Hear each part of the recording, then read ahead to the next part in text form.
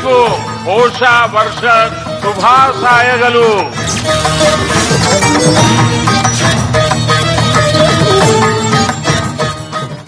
ಪ್ರಧಾನಿ ನರೇಂದ್ರ ಮೋದಿ ಎರಡು ದಿನಗಳ ಕಾಲ ಕರ್ನಾಟಕ ರಾಜ್ಯ ಪ್ರವಾಸದಲ್ಲಿದ್ದಾರೆ. ಇವತ್ತು ತುಮಕೂರಿನಲ್ಲಿ ಎರಡು ಪ್ರತ್ಯೇಕ ಕಾರ್ಯಕ್ರಮಗಳಲ್ಲಿ ನರೇಂದ್ರ ಮೋದಿ ಅವರು ಪಾಲ್ಗೊಂಡಿದ್ರು. ಮಧ್ಯಾಹ್ನ ತುಮಕೂರಿಗೆ ಅವರು ಕಾಲಿಡ್ತಾ ಇದ್ದಂತೆ ಮೊದಲು ಮಾಡಿದಂತ ಕೆಲಸ ಅಂದ್ರೆ ಸಿದ್ಧಗಂಗಾ ಮಠಕ್ಕೆ ಭೇಟಿಯನ್ನ ಕೊಟ್ಟಿದ್ದು. ಸೊ ಅಲ್ಲಿ ಶ್ರೀಗಳ ಗದ್ದುಗೆ ಇದೆಯಲ್ಲ ಅಲ್ಲಿಗೆ ಹೋಗಿ ನಮಸ್ಕಾರವನ್ನ ಮಾಡಿದ್ರು, ಆರತಿಯನ್ನ ಬೆಳಗಿದ್ರು. ಆ ಸಂದರ್ಭದಲ್ಲಿ ಕಿರಿಯ ಸ್ವಾಮೀಜಿಗಳು ಅವರಿಗೆ ರುದ್ರಾಕ್ಷಿಯನ್ನ ಹಾಕಿ ಹಣೆಗೆ ವಿಭೂತಿಯನ್ನ ಹಚ್ಚಿದ್ರು. ಇದಾದ ನಂತರ ಮಠದ ವತಿಯಿಂದ ಒಂದು ಖಾಸಗಿ ಕಾರ್ಯಕ್ರಮವನ್ನ ಹಮ್ಮಿಕೊಳ್ಳಲಾಗಿತ್ತು. ಅದು ಈ ಮಠದ ವತಿಯಿಂದ ಶಿವಕುಮಾರ ಸ್ವಾಮೀಜಿಗಳ ಹೆಸರಲ್ಲಿ ಮ್ಯೂಸಿಯಂನ ಶಂಕುಸ್ಥಾಪನೆ ಆ ಕಾರ್ಯಕ್ರಮದಲ್ಲಿ ನರೇಂದ್ರ ಮೋದಿ ಅವರಿಗೆ ಸನ್ಮಾನವನ್ನ ಮಾಡಲಾಯಿತು. ಅಲ್ಲಿ ಬೆಳ್ಳಿಯ ಮೂರ್ತಿಯನ್ನ ನೀಡಲಾಯಿತು. ಶಿವಕುಮಾರ ಸ್ವಾಮೀಜಿಗಳ ಬೆಳ್ಳಿಯ ಮೂರ್ತಿಯನ್ನ ನೀಡಿ ಪ್ರಧಾನಿಗಳಿಗೆ ಸನ್ಮಾನವನ್ನ ಮಾಡಲಾಯಿತು. ಶ್ರೀಗಳ ಗದ್ದುಗೆಗೆ ನಮೋ ಈ ಸಂದರ್ಭದಲ್ಲಿ ಆರತಿಯನ್ನ ಬೆಳಗಿದ್ರು. ಜೊತೆಗೆ ನಮೋ ಪ್ರದಕ್ಷಿಣೆಯನ್ನ ಕೂಡ ಹಾಕಿದ್ರು. ಇನ್ನು ಇವತ್ತಿನ ಕಾರ್ಯಕ್ರಮದಲ್ಲಿ ಮೊದಲೇ ತಯಾರಿಗಳ ಆದಂತೆ ಬಿಲ್ವ ಪತ್ರಿಯ ಗಿಡವೊಂದನ್ನ ಆ ಜಾಗದಲ್ಲಿ, ಶ್ರೀ ಕ್ಷೇತ್ರದಲ್ಲಿ ನರೇಂದ್ರ ಮೋದಿ ಅವರು ನೆಟ್ರು.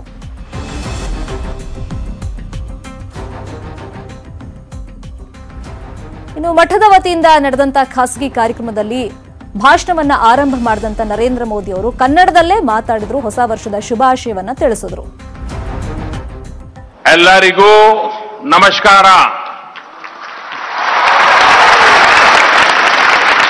ಸಿದ್ಧಗಂಗಾ ಮಠದ ಡಾಕ್ಟರ್ ಶಿವಕುಮಾರ್ ಸ್ವಾಮೀಜಿಯವರ್ ನಾಡಾದ್ ತುಮಕೂರಿಗೆ ಆಗಮಿಸಲು ಸಂತೋಷವಾಗುತ್ತಿದೆ.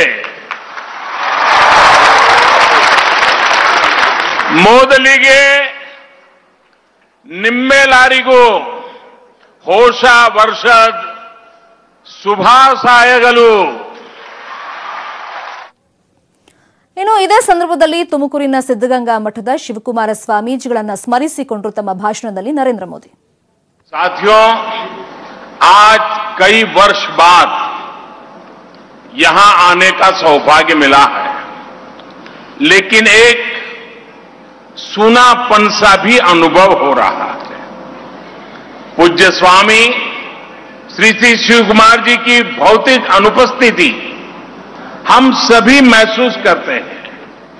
मैंने तो साक्षात अनुभव किया है कि उनके दर्शन मात्र से ही जीवन ऊर्जा से भर जाता था। उनके प्रेरक व्यक्तित्व से ये पवित्र स्थान दशकों से समाज को दिशा देता रहा है। विशेष तौर पर एक शिक्षित और समान अवसरों वाले समाज के निर्माण की गंगा यहां से निरंतर बहती रही है साथियों आज ಇನ್ನು ಇತ್ತೀಚೆಗೆ ಮುಕ್ತರಾದಂತ ವಿಶ್ವ ಸಂತ ವಿಶ್ವೇಶ್ವ ತೀರ್ಥರನ್ನು ಕೂಡ ಪ್ರಧಾನಿ ಮೋದಿ ಅವರು ತಮ್ಮ ಭಾಷಣದಲ್ಲಿ ಪ್ರಸ್ತಾಪ ಮಾಡಿ ನ- ಸ್ಮರಿಸಿಕೊಂಡ್ರು पेजावर मठ के प्रमुख विश्वेश्वर तीर्थ स्वामी का देहावसान भारत के समाज के लिए एक कमी पैदा कर गया है। हमारे आध्यात्मिक और सामाजिक जीवन के ऐसे स्तंभों का हमारे बीच से जाना एक बड़ा शून्य छोड़ जाता है। हम शारीरिक जीवन की इस गति को तो नहीं रोक सकते, लेकिन हमारे इन संतों के दिखाए मार्ग को सशक्त ज़रूर कर सकते हैं। मानवता की सेवा और माँ भारती की सेवा में खुद को समर्पित कर सकते हैं पेजावर ಇನ್ನು ಈ ಸಂದರ್ಭದಲ್ಲಿ ಸಿಎ ನ ಯಾರೆಲ್ಲ ವಿರೋಧಿಸ್ತಾ ಇದ್ದಾರೆ ಅವರ ವಿರುದ್ಧವಾಗಿ ವಾಗ್ದಾಳಿಯನ್ನ ಮಾಡಿದ್ರು ಅಂದ್ರೆ ಸಿದ್ಧಗಂಗಾ ಮಠದಲ್ಲಿ ಭಾಷಣ ಮಾಡುವಂತ ಸಂದರ್ಭದಲ್ಲಿ ನರೇಂದ್ರ ಮೋದಿ ಅವರು ಕಾಂಗ್ರೆಸ್ ವಿರುದ್ಧವಾಗಿ ವಾಗ್ದಾಳಿಯನ್ನ ಮಾಡಿದ್ರು ಯಾವ ರೀತಿ ವಿಚಾರಗಳನ್ನ ಪ್ರಸ್ತಾಪ ಮಾಡಿದ್ರು ವಿರೋಧಿಗಳಿಗೆ ಟಾಂಗ್ ಕೊಟ್ರು ನೋಡಿ कांग्रेस के लोग उनके साथी दल और उनका बनाया इकोसिस्टम भारत की संसद के खिलाफ ही आज उठ खड़ा हुआ है। जिस तरह की नफरत वो हम लोगों से करते हैं, वैसा ही स्वर अब देश की संसद के खिलाफ दिख रहा है। इन लोगों ने भारत की संसद के खिलाफ ही आंदोलन शुरू कर दिया है। ये लोग पाकिस्तान से आए दलितों, पीड़ितों, शोषितों, उनके ही खिलाफ आंदोलन कर रहे हैं। साथियों, पाकिस्तान का जन्म धर्म के आधार पर हुआ था। देश धर्म के आधार पर बंटा था और बंटवारे के समय से ही पाकिस्तान में दूसरे धर्म के लोगों के साथ अत्याचार शुरू हो गया था। हमारा ये फ़र्ज़ बनता कि पाकिस्तान से आए, शरणार्थियों की मदद करें। हम देशवासियों का कर्तव्य बनता है कि मजबूरन आए उनके साथ, हम खड़े हो जाएँ। हमारा ये फ़र्ज़ बनता है कि पाकिस्तान से आए हिंदुओं को और उसमें भी ज़्यादातर मेरे दलित भाई बहन है, मेरे शोषित भाई बहन है, पीड़ित भाई बहन है, उनको उनके नसीब पर हम नहीं छोड़ सकते हैं। उनकी मदद करना ये हमारी सांस्कृतिक, हमारी राष्ट्रीय जिम्मेवारी है। हमारा ये फ़र्ज़ बनता है कि पाकिस्तान से आए सिखों को उनके नसीब पर न छोड़ दें। हमें उनकी भी मदद करनी चाहिए। हमारा ये फ़र्ज़ बनता है कि पाकिस्तान से आए जैन परिवार और ईसाई परिवारों को उनके नसीब पर न छोड़ दिया जाए। हमें उनकी भी मदद करनी चाहिए। साथियों, जो लोग आज भारत की संसद के खिलाफ आंदोलन कर रहे हैं, मैं उन्हें कहना चाहता हूँ कि आज ज़रूरत अंतर्राष्ट्रीय स्तर पर पाकिस्तान की हरकतों को बेनकाब करने की है। अगर आपको आंदोलन करना ही है तो पाकिस्तान के पिछले सत्तर साल के कारनामों के खिलाफ आंदोलन करना चाहिए, आवाज़ उठानी चाहिए, आपके अंदर ये दम होना चाहिए। अगर आपको नारे लगाने ही है तो पाकिस्तान में जिस तरह अल्पसंख्यकों पर अत्याचार हो रहा है उसके खिलाफ नारे लगाइए अगर ಇನ್ನು ಮಠದ ಆವರಣದಲ್ಲಿ ಅಭಿವೃದ್ಧಿ ಅಜೆಂಡಾಗೆ ಮೂರು ಸಂಕಲ್ಪಗಳನ್ನ ಮೋದಿ ಕೈಗೊಂಡಿದ್ದಾರೆ ಸಿದ್ದಗಂಗಾ ಮಠದಲ್ಲಿ ಸಂಕಲ್ಪವನ್ನ ಮಾಡಿರೋದು ಘೋಷಣೆಯನ್ನ ಮಾಡಿದ್ದಾರೆ ಈ ಸಂದರ್ಭದಲ್ಲಿ ಜಲ ಸಂರಕ್ಷಣೆಗೂ ಕೂಡ ಪ್ರಧಾನಿ ಕರೆಯನ್ನ ಕೊಟ್ಟಿದ್ದಾರೆ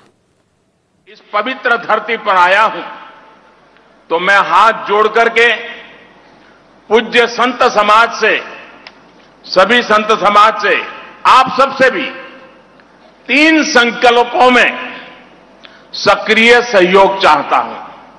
पहला, अपने कर्तव्यों और दायित्वों को महत्व देने की, अपनी पुरातन संस्कृति को हमें फिर से मज़बूत करना होगा। लोगों को, अपने भक्तों को, समाज को इस बारे में निरंतर जागृत करना है और ये संत समाज बहुत अच्छे ढंग से कर सकता है। दूसरा, प्रकृति और पर्यावरण की रक्षा। जैसे मैं सिंगल यूज़ प्लास्टिक से मुक्ति का आह्वान कर रहा हूँ। अगर आप लोग ये आह्वान करेंगे तो इसकी ताकत अनेक गुना बढ़ जाएगी। और हम सिंगल यूज़ प्लास्टिक से देश को मुक्त कर पाएँगे। और तीसरी बात है जल संरक्षण। जल संचयन के लिए जन जागरण में सहयोग। ನಾನು इस पवित्र धरती पर आया हूँ तो मैं हाथ जोड़ करके पूज्य संत समाज से ಇನ್ನು ಮೋದಿ ಮಠಕ್ಕೆ ಬಂದಿದ್ದು ಮಕ್ಕಳಿಗೆ ಇನ್ನಿಲ್ಲದ ಸಂಭ್ರಮವನ್ನ ತಂದಿತು ತಮ್ಮ ಸಂಭ್ರಮವನ್ನ ನ್ಯೂಸ್ ಏಟಿನ್ ಕನ್ನಡದ ಜೊತೆ ಮಕ್ಕಳು ಹಂಚಿಕೊಂಡಿದ್ದಾರೆ. ಏನ್ ಹೇಳಿದ್ದಾರೆ? ನೋಡಿ.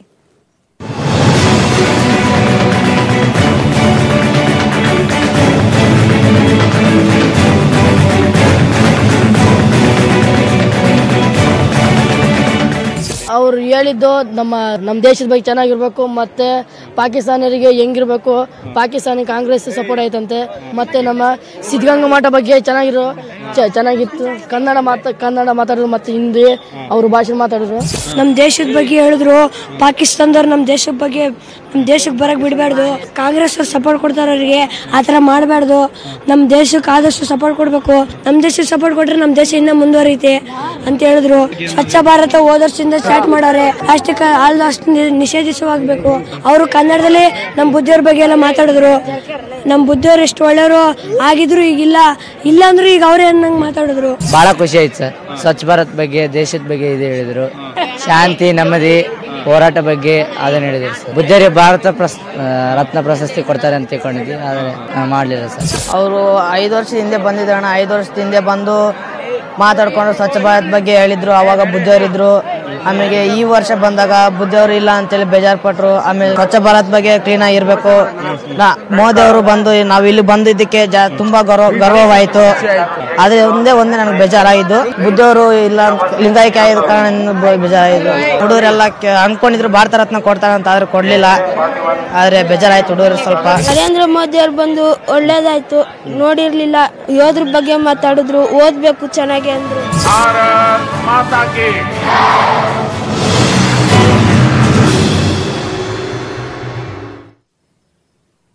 ಮಕ್ಕಳ ಅನಿಸಿಕೆಯನ್ನು ನೋಡಿದ್ವಿ ಇನ್ನು ಮೋದಿ ಭೇಟಿ ಬಗ್ಗೆ ಈಗಿನ ಸ್ವಾಮೀಜಿ ಸಿದ್ದಲಿಂಗ ಸ್ವಾಮೀಜಿ ಮಾತನಾಡಿದ್ದಾರೆ ನೋಡಿ ಪ್ರಧಾನಿ ನರೇಂದ್ರ ಮೋದಿಯವರು ಇಂದು ತುಮಕೂರಿನ ಸಿದ್ಧಗಂಗಾ ಮಠಕ್ಕೆ ಭೇಟಿ ಕೊಟ್ಟಿದ್ರು. ಈ ಒಂದು ವೇಳೆಯಲ್ಲಿ ತುಮಕೂರಿನ ಸಿದ್ಧಗಂಗಾ ಮಠದ ಬಗ್ಗೆ ಸಾಕಷ್ಟು ಒಳ್ಳೆಯ ರೀತಿಯಲ್ಲಿ ಮಾತನಾಡಿದ್ದಾರೆ. ಶಿವಕುಮಾರ ಸ್ವಾಮೀಜಿ ಆಗಿರ್ಬೋದು ಮತ್ತು ಇಲ್ಲಿನ ಮಕ್ಕಳಾಗಿರ್ಬೋದು, ಎಲ್ಲರ ಬಗ್ಗೆನೂ ಕೂಡ ಸಾಕಷ್ಟು ಒಳ್ಳೆಯ ರೀತಿಯಲ್ಲಿ ಮಾತಾಡಿದ್ದಾರೆ. ಈ ಬಗ್ಗೆ ಇಲ್ಲಿನ ಈಗಿನ ಮಠಾಧ್ಯಕ್ಷರಾದ ಶ್ರೀ ಸಿದ್ಧಲಿಂಗ ಸ್ವಾಮೀಜಿ ಈಗ ನಮ್ಮೊಂದಿಗಿದ್ದಾರೆ. ಇವತ್ತು ಅವ್ರು ಮಾಡಿದಂಥ ಭಾಷಣದಲ್ಲಿ ಯಾವುದೇ, ಯಾವುದೆಲ್ಲ ಒಂದು ಪೂರಕವಾಗಿತ್ತು ಸ್ವಾಮೀಜಿ? ಮೋದಿ ಕಾರ್ಯಕ್ರಮ ಯಶಸ್ವಿಯಾಗಿ ನಡೆದಿದೆ ಬಂದಿದ್ದರು ಯಥಾ ಪ್ರಕಾರ ಏನೆಲ್ಲ ಕಾರ್ಯಕ್ರಮಗಳನ್ನು ಹಮ್ಮಿಕೊಂಡಿದ್ವು ಅವೆಲ್ಲವೂ ಕೂಡ ಸುಸೂತ್ರವಾಗಿ ಯಶಸ್ವಿಯಾಗಿ ನಡೆದಿದ್ದಾರೆ. ಪದೇ ಪದೇ ಹೇಳ್ತಾ ಇದ್ರು ದೊಡ್ಡವರು ಇಲ್ದಿದ್ದು ಶೂನ್ಯದ ಸಮಾನ ಇಲ್ಲಿ ಒಂಥರ ಶೂನ್ಯ ಥರ ಕಾಣಿಸ್ತಾ ಇದೆ ಅಂತ ಹೇಳಿ. ನೋಡಿ ಅವರಿಗೆ ತುಂಬ ಒಂದು ಪಿತೃ ಮಾತೃ ಮಾತಾ ಪಿತೃ ಸಮಾನ ಅನ್ನುವ ಭಾವನೆಯನ್ನು ಇಟ್ಕೊಂಡಿದ್ರು ಅವರು. ಸಹಜವಾಗಿ ಅಂತಹ ದೊಡ್ಡ ಚೇತನ ಅಗಲಿದಾಗ ಶೂನ್ಯ ಆವರಿಸ್ತದೆ ಅನ್ನೋದು ಸಹಜವಾಗಿ ಇದೆ. ಆದರೂ ಕೂಡ ಅವರು ಭೌತಿಕವಾಗಿ ಇಲ್ಲ ನಮ್ಮ ಮುಂದೆ ಭಾವನಾತ್ಮಕವಾಗಿದ್ದಾರೆ ಎನ್ನುವ ಮಾತನ್ನು ಅವರು ಅರ್ಥ ಮಾಡಿಕೊಂಡು ಇವತ್ತು ಸಾಕಷ್ಟು ಒಂದು ಎಲ್ಲ ರೀತಿಯಲ್ಲೂ ಕೂಡ ಮಾತಾಡಿದ್ದಾರೆ ಮಕ್ಕಳಿಗೆ ಒಂದು ಉತ್ತಮದಾಯಕವಾದಂಥ ಒಂದು ಯಾವ ಅಂಶ ತಮಗೆ ಒಂದು ಇಷ್ಟ ಆಯಿತು ಸ್ವಾಮೀಜಿ? ಈಗಾಗಲೇ ಪ್ರಾರ್ಥನೆ ಹೇಳಿದೆ ಮಕ್ಕಳಿಗೆ ಬಯಲು ಶೌಚ ಮುಕ್ತ ಆಗಬೇಕು ಅನ್ನೋದೊಂದು ಹೋರಾಟ. ನಾವು ಅಂತಹ ಒಂದು ಬಯಲು ಶೌಚವನ್ನು ಆದಷ್ಟು ಕಡಿಮೆ ಮಾಡುವಂಥದ್ದು ದೂರ ಇರುವಂಥದ್ದು ಅದರಿಂದ ಹೊರಬರುವಂಥ ಪ್ರಯತ್ನ ಮಾಡಬೇಕು. ಒಂದು ಸಾರಿ ಬಳಸುವಂತಹ ಪ್ಲಾಸ್ಟಿಕ್ನಿಂದ ದೂರ ಇರಬೇಕು. ನಾವು ಪ್ಲಾಸ್ಟಿಕ್ಕನ್ನೇ ಬಳಸಬಾರದು. ಮತ್ತು ಜಲಮೂಲಗಳನ್ನು ಜಲ ಜಲ ನೀರಿನ ಸದ್ಬಳಕೆ ಮಾಡಿಕೊಳ್ಬೇಕು ಮಳೆ ನೀರಿರ್ಬೋದು ಮತ್ತೊಂದು ಇರ್ಬೋದು ನೀರನ್ನು ಅಪವ್ಯಯ ಮಾಡಬಾರದು. ಈ ಒಂದು ಸಂದೇಶವನ್ನು ನಾವೆಲ್ಲರೂ ಕೂಡ ಮಕ್ಕಳು ಚಿಕ್ಕಂದಿನಿಂದಲೇ ಆ ಒಂದು ಅರಿವು ಮೂಡಿಸ್ಕೊಂಡು ಬಂದರೆ ಮುಂದೊಂದು ದಿವಸ ಅದು ಫಲ ಕೊಡ್ತದೆ.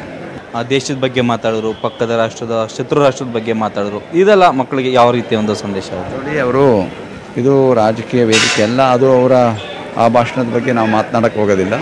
ಆದರೂ ಅವರು ಪ್ರಸ್ತಾಪ ಮಾಡಿದರೆ ನಾವಿಲ್ಲ ಅಂತ ಹೇಳೋಕ್ಕಾಗೋದಿಲ್ಲ ನಾವು ಬ್ಯಾಡಿ ಅಂತ ಹೇಳೋಕ್ಕಾಗೋದಿಲ್ಲ ಅವ್ರೇನು ಪ್ರಸ್ತಾಪ ಮಾಡ್ತಾರೆ ನಮಗೆ ಗೊತ್ತಿರೋದಿಲ್ಲ.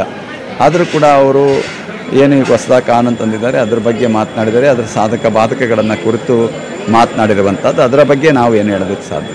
ಯಾವಾಗಲೂ ಯಾವಾಗ ಬರ್ತೀನಿ ಅಂತ ಏನಾದ್ರು ಹೇಳಿದ್ರೆ ಸ್ವಾಮೀಜಿ ಮತ್ತೆ ಏನಾದರೂ ಬರೋಂಥ ಸಾಧ್ಯತೆ ರೀತಿ ಯಾವುದೂ ಇಲ್ಲ ಆ ರೀತಿ ಏನೇನಿಲ್ಲ ಸಿದ್ಧಲಿಂಗ ಸ್ವಾಮೀಜಿ ಹೇಳ್ತಕ್ಕಂಥ ಮತ್ತು ಏನಂದ್ರೆ ಸಾಕಷ್ಟು ವಿಚಾರಗಳ ಬಗ್ಗೆ ಮಾತಾಡಿದ್ರು. ಇದೆಲ್ಲದಕ್ಕೂ ಕೂಡ ಏನು ಈ ಒಂದು ಈ ಒಂದು ಮಠದ ಮೇಲಿರುವಂಥ ಗೌರವನೇ ಕಾರಣ ಅಂತ ಹೇಳ್ತಾ ಇರ್ತಕ್ಕಂಥದ್ದು. ಶಿವಪ್ಪ ಜೊತೆ ವಿಠಲ್ ನ್ಯೂಸ್ ಏಟಿನ್ ಕನ್ನಡ ತುಮಕೂರು ಿ.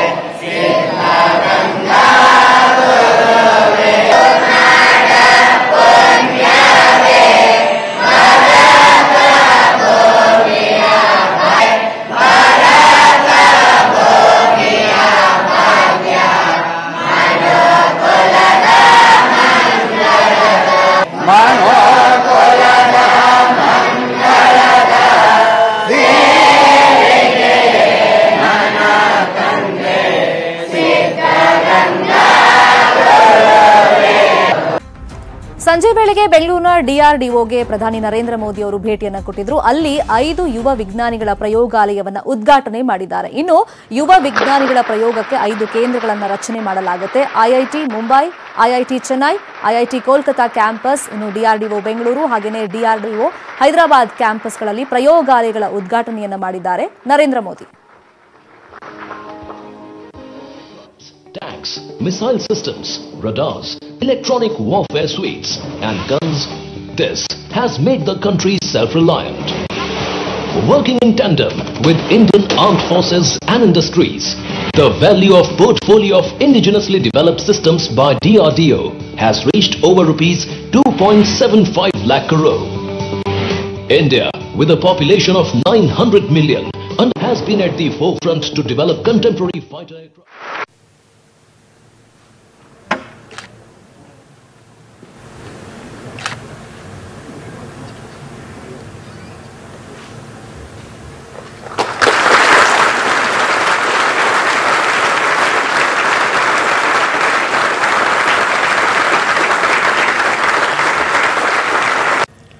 और मैं चाहता हूँ कि वो गलतियाँ करे। ये पाँच लैब सबसे ज़्यादा गलतियाँ करे। ये पाँच लैब पूरा बजट उड़ा देते तो उड़ा दे एक बार।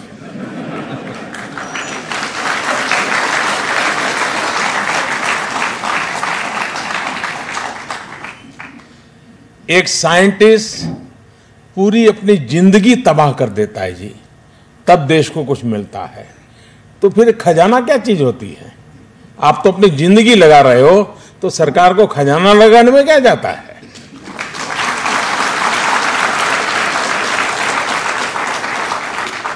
और मुझे संतोष है कि एडवांस टेक्नोलॉजीज़ के क्षेत्र में पाँच लैब स्थापित करने के सुझाव पर गंभीरता से काम हुआ, और आज बेंगलुरु, कोलकाता, चेन्नई, हैदराबाद और मुंबई में पाँच ऐसे संस्थान शुरू हो रहे हैं। और मुझे विश्वास है कि यंग साइंटिस्ट लैब्स युवा वैज्ञानिकों के विचार और व्यवहार को नई उड़ान देगी। इसका मतलब यह हुआ कि अब ये पहचाना जाएगा डीआरडीओ वाई लेकिन बोलते समय लगेगा डीआरडीओ वाई और मैं समझता हूँ ये पाँच लैब डीआरडीओ वाई को जवाब देने की ताकत रखते हैं ये मेरा विश्वास है ವಿಶ್ರಾಂತ ಕುಲಪತಿ ಪ್ರೊಫೆಸರ್ ಕೆಎಸ್ ರಂಗಪ್ಪಗೆ ಇದೀಗ ಸಂಕಷ್ಟ ಎದುರಾಗಿದೆ ರಂಗಪ್ಪ ಸಲ್ಲಿಸಿದಂತ ಮಧ್ಯಂತರ ಜಾಮೀನು ಅರ್ಜಿಯನ್ನ ಕೋರ್ಟ್ ಇದೀಗ ರಿಜೆಕ್ಟ್ ಮಾಡಿದೆ ಕರ್ನಾಟಕ ರಾಜ್ಯ ಮುಕ್ತ ವಿವಿ ಹಗರಣದ ಕೇಸ್ನ ಅರ್ಜಿಯನ್ನ ಇದೀಗ ವಜಾ ಮಾಡಿದೆ. ಕೋರ್ಟ್ ಇಲ್ಲೇನಾಗಿತ್ತು ಅಂದ್ರೆ ಈ ಹಿಂದೆ ನಕಲಿ ಅಂಕಪಟ್ಟಿ ಹಗರಣ ಜೊತೆಗೆ ಅಕ್ರಮ ಭ್ರಷ್ಟಾಚಾರ ಪ್ರಕರಣಕ್ಕೆ ಸಂಬಂಧಪಟ್ಟಂತೆ ಬಂಧನ ಭೀತಿಯನ್ನ ಸದ್ಯಕ್ಕೆ ಎದುರಿಸ್ತಾ ಇದ್ದಾರೆ. ಪ್ರೊಫೆಸರ್ ಕೆ ರಂಗಪ್ಪ ಅವರು ಈಗ ಕೋರ್ಟ್ ಕೂಡ ಮಧ್ಯಂತರ ಜಾಮೀನು ಅರ್ಜಿಯನ್ನೇ ಇದೀಗ ರಿಜೆಕ್ಟ್ ಮಾಡಿದೆ. ಅವರಿಗೆ ಸದ್ಯಕ್ಕೆ ಅಂದ್ರೆ ಇಮಿಡಿಯೇಟ್ ಆಗಿ ಯಾಕೆ ತಲೆನೋವು ಶುರುವಾಗಿದೆ ಅಂದ್ರೆ ನಾಳೆ ಮೋದಿ ಜೊತೆ ಕಾರ್ಯಕ್ರಮದಲ್ಲಿ ಇನ್ವಿಟೇಷನ್ ಅಲ್ಲಿ ರಂಗಪ್ಪ ಹೆಸರು ಕೂಡ ಇದೆ. ಅವರು ಕೂಡ ಹೋಗಿ ಭಾಗಿ ಆಗ್ಬೇಕಾಗಿತ್ತು.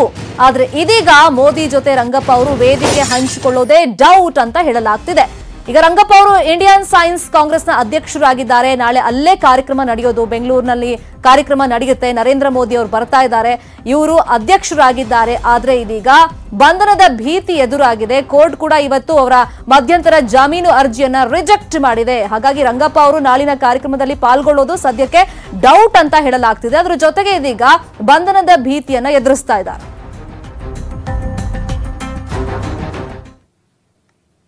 ಇದು ಸದ್ಯದ ನ್ಯೂಸ್ ಅಪ್ಡೇಟ್ಸ್ ಇದೀಗ ಸೇನಾ ಹೆಲಿಕಾಪ್ಟರ್ನಲ್ಲಿ ಪಿಎಂ ಸಿಎಂ ಸೀಕ್ರೆಟ್ ಸಂಭಾಷಣೆ. ಆ ಮೂವತ್ತೈದು ನಿಮಿಷ ಏನೆಲ್ಲ ಆಯಿತು ಮಾತುಕತೆ? ಪಿನ್ ಟು ಪಿನ್ ಮಾಹಿತಿಯನ್ನ ಎಂಐ ಸೆವೆಂಟೀನ್ ಸೀಕ್ರೆಟ್ನಲ್ಲಿ ಕೊಡ್ತೀವಿ. ನೋಡ್ತಾರಿ ನ್ಯೂಸ್ ಏಟೀನ್ ಕನ್ನಡ. ಜಾಲ ನಮ್ಮದು, ಬಲ ನಿಮ್ಮದು.